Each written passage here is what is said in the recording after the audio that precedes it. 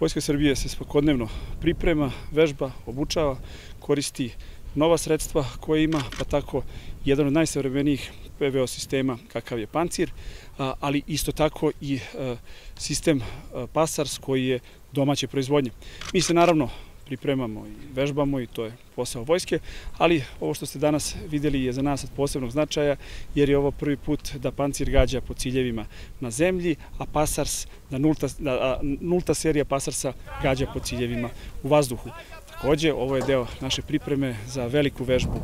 koju ćemo uh, izvesti u oktobru i gde ćemo prikazati sve ono što je sve sposobnosti koje Vojska Srbije uh, uspela do sada da postigne.